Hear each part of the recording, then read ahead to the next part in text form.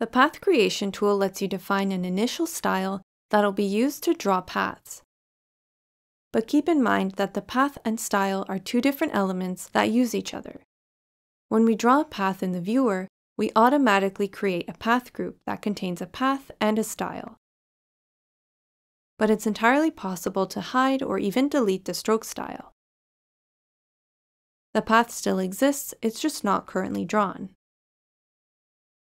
It's really important to distinguish these two elements. Going back to the Shape tool and selecting the path allows us to edit it again. Selecting a path group will let us define a creation context. Then we can add a new path inside of it.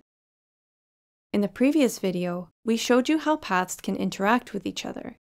Let's select Path 2 and delete it. Instead of selecting the path group, let's select the Shapes generator in the timeline. Now that we've changed the creation context, Drawing a new curve will create a new path group and stroke style.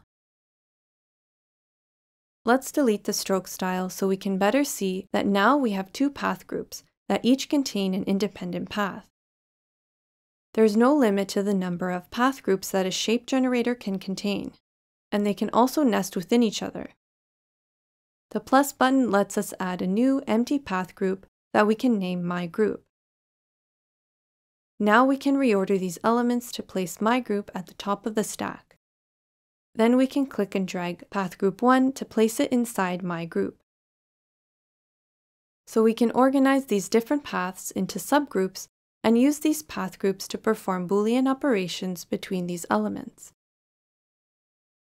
In this video, we went over how to add paths to existing path groups, create a path in a new path group, and nest path groups within each other.